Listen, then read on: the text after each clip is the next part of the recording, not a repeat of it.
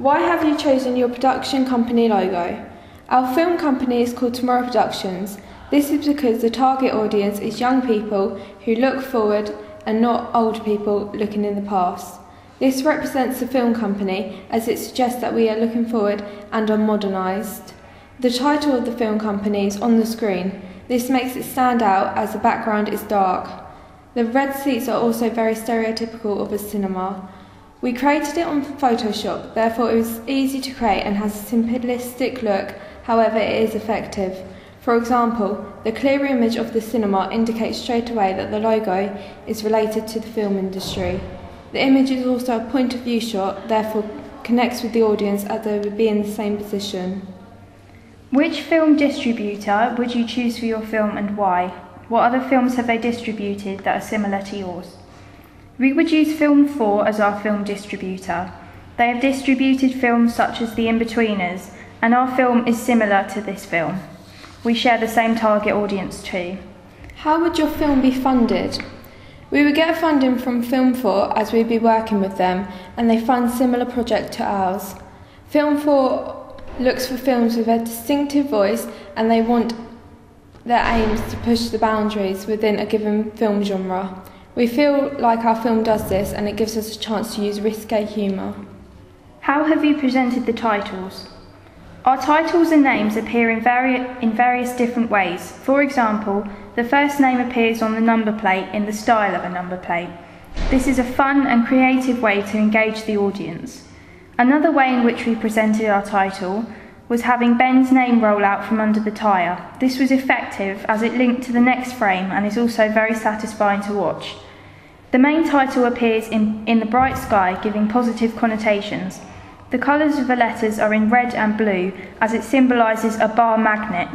Also, it is a well known saying and fact that opposites attract, emphasising the opposites. What is your unique selling point of your film? The unique selling point of our film is that we have a male protagonist. This is the countertype for teen angst film, as many protagonists are female. Through research, the only other teen angst films with male protagonists are 17 Again and The Inbetweeners. When would you release your film?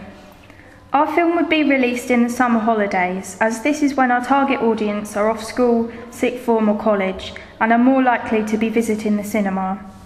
Our film opening is set in the winter, this gives negative connotations.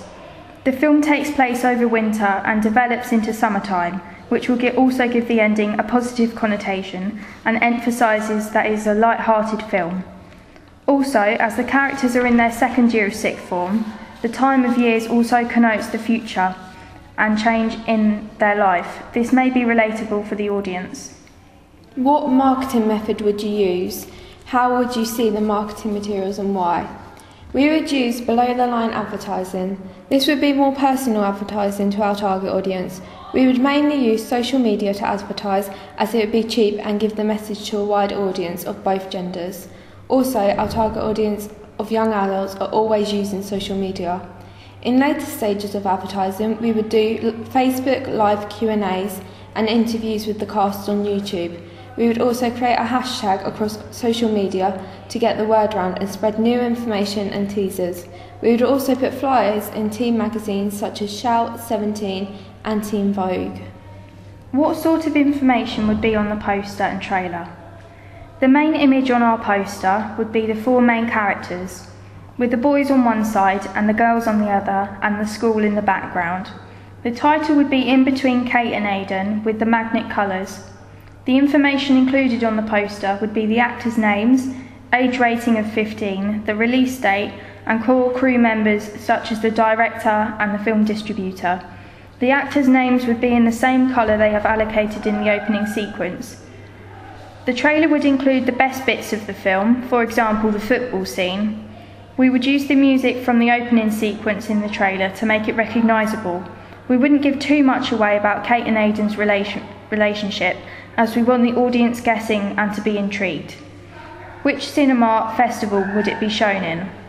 We would show the film in Cineworld as it is the most accessible cinema to most young adults and is most popular in the UK. Therefore, it gives us a wider audience. Additionally, the seats are red in the cinema and these are the same red seats in our production, production company logo and gives the audience a mirror image of what they are seeing.